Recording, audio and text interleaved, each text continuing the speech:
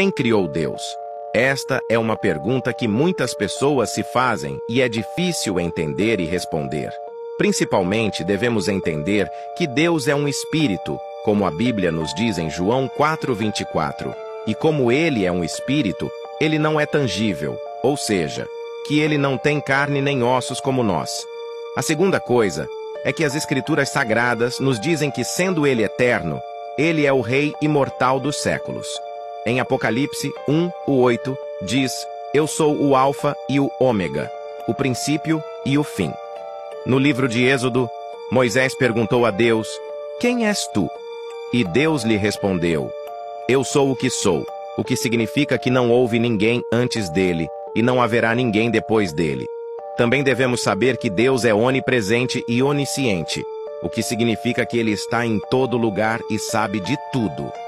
Comente amém e siga-me para mais curiosidades da Bíblia.